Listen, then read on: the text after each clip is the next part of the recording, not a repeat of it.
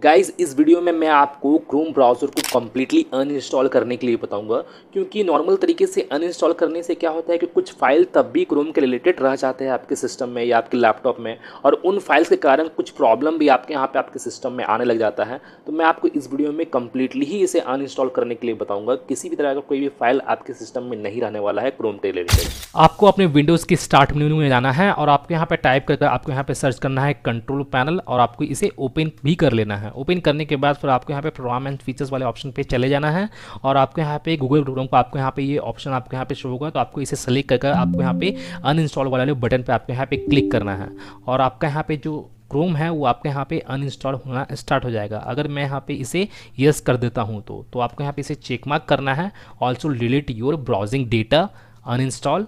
तो यहाँ पे मेरा जो क्रोम ब्राउज़र है, यहाँ पे कम्प्लीटली ये अनइंस्टॉल हो जाएगा। अनइंस्टॉल होने के बाद आपके यहाँ पे ये शो नहीं होगा। अब अनइंस्टॉल हो जाने के बाद, अब आपको इसे फुल्ली तरीके से आपको अनइंस्टॉल करना है। इसके कुछ भी फाइल्स जो आपके कंप्यूटर में रह जाते हैं, आपके विंडोज़ में रह जाते हैं, आपको उन सभी को भी डिलीट कर देना है परमानेंटली तो उसके लिए आपको अपने कीबोर्ड में विंडोज़ प्लस आर बटन को प्रेस करना है और आपको यहाँ पे परसेंट ऐप डेटा परसेंट आपको यहाँ पे टाइप कर आपको यहाँ पे इसे ओके करना है।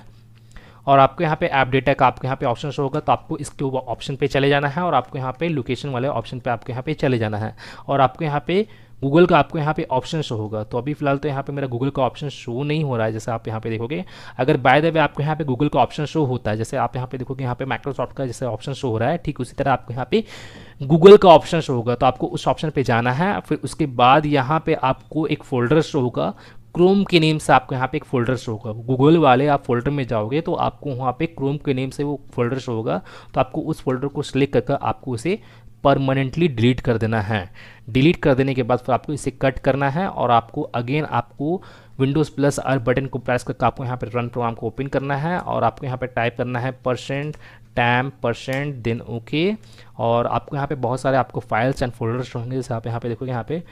क्रोम के रिलेटेड भी यहाँ पे कुछ फाइल्स इसमें आपको बताया था। कुछ फाइल्स रह जाते हैं तो आपको इन सभी को ऑल सेलेक्ट करना है और परमानेंटली डिलीट कर देना है। शिफ्ट प्लस डिलीट बटन को प्रेस कर कर अपने कीबोर्ड में। और हो सकता है कुछ फाइल्स या कुछ फोल्डर्स आपके यहाँ पे डिलीट ना हो तो आपको उसे एज इट इज़ वैसा ही छोड़ देना है। आपको यहाँ पर डिलीट नहीं करना है और आपको इसे कट कर देना है। और आपका जो क्रोम ब्राउज़र है, वो आपके सिस्टम से परमानेंटली डिलीट हो जाएगा।